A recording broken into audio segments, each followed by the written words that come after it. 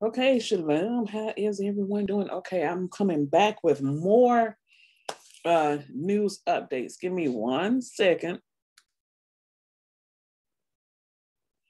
Okay, so I'm coming back with some updates of every all the news, everything that's been going on. Okay.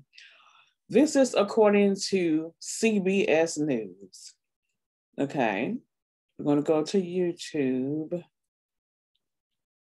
now to the alarming new surge in coronavirus cases across the country. The U.S. is averaging 100,000 new infections per day as the Delta variant spreads nationwide. Health officials are urging Americans to get vaccinated as hospitals see a major spike in COVID patients, especially in the South. Omar Villafranca has the latest. Inside the ICU at Baton Rouge General Hospital, doctors and nurses are treating more COVID patients than ever before, almost all of them unvaccinated. They're patients like 61 year old Douglas Allen. You can't move.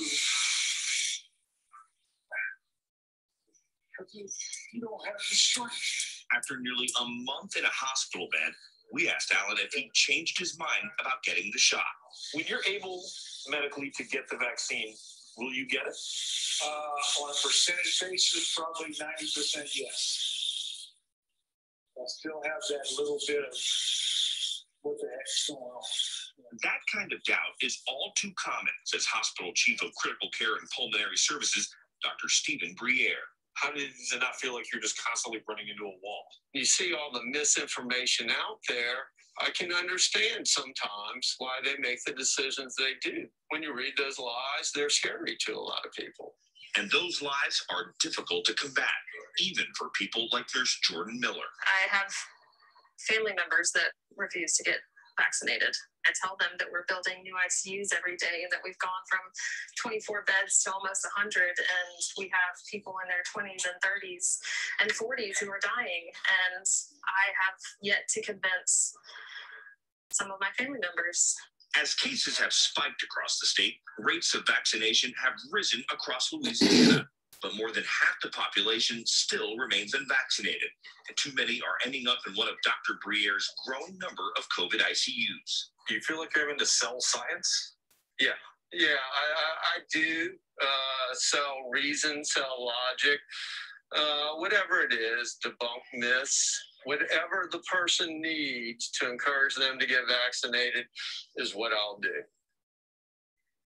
That was Omar Villafranca reporting. For more on this now, let us bring in Dr. Teresa Murray Amato. She's the Director of Emergency Medicine at Long Island Jewish Forest Hills. Thank you so much for joining us. Doctor, I don't know if you heard Omar's story, if you could hear the, the uh, story playing, but he's interviewing a patient in the hospital who was talking about how weak he was, how difficult it was to breathe.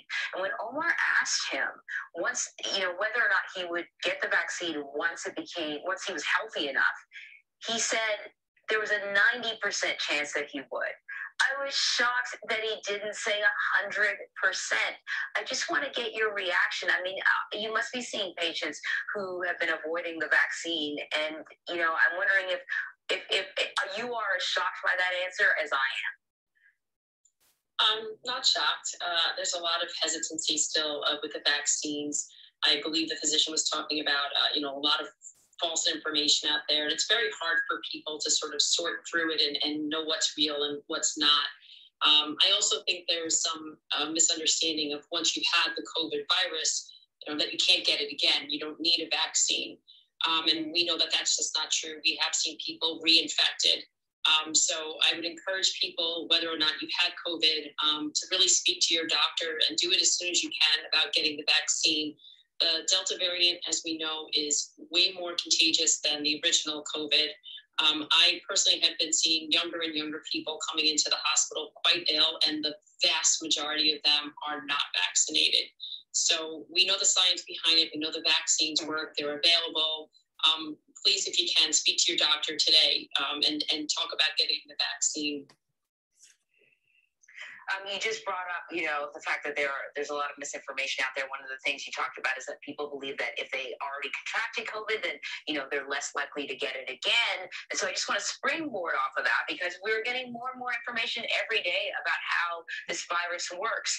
A new CDC study found that people who have contracted COVID before are actually twice as likely to be reinfected if they don't get vaccinated. What do we know about Im- immunity after you've you know picked up the virus kind of organically? You you you you had COVID, you got through it. What do we know about your immunity and how long it lasts? So uh, since COVID is a, a novel virus, um, we're, we're still learning about it, right? So up until 18 months ago, this virus didn't exist. So we don't have all the answers yet. But if you look at the data, people that have been previously infected are not immune to catching it a second time.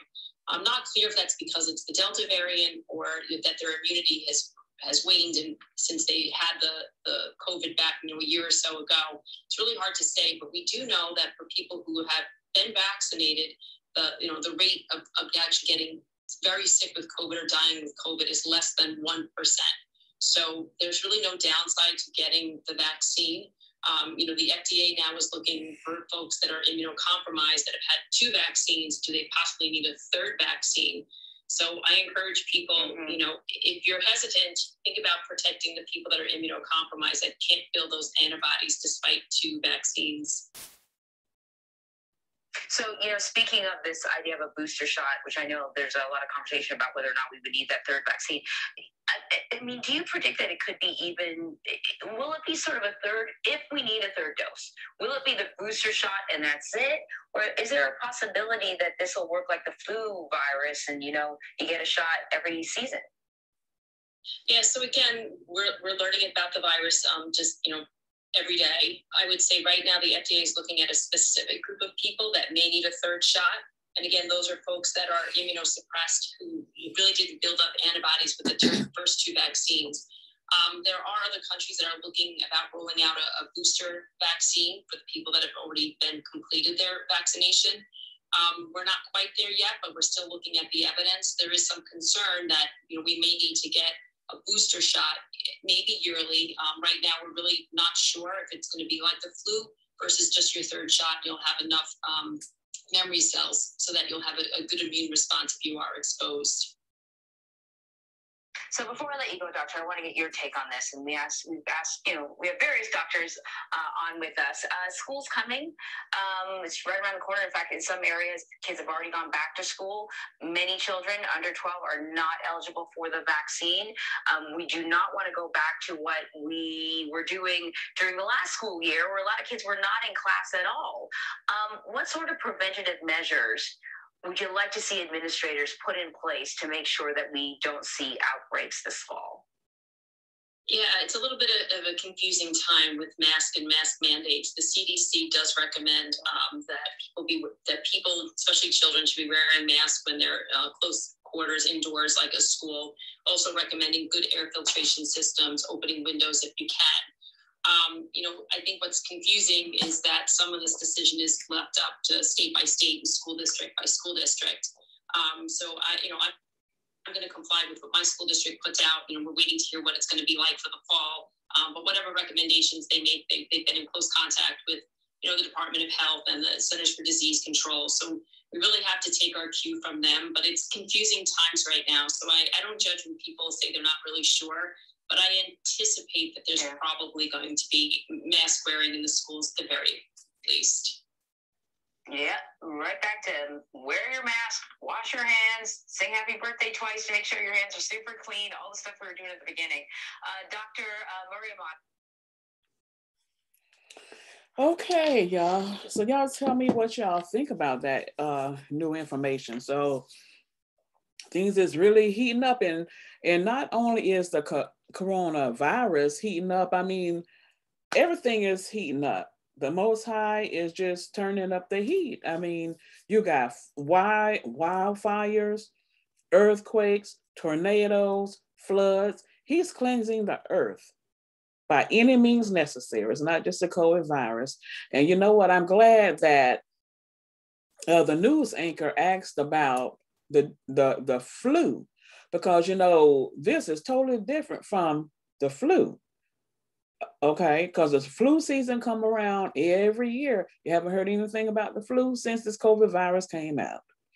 And also uh, the news anchor said why is it that everyone have to keep getting shot up with a vaccine for this covid virus when normally with the flu season you only get that shot once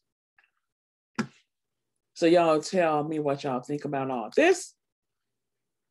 Please like, share, and subscribe. Shalom.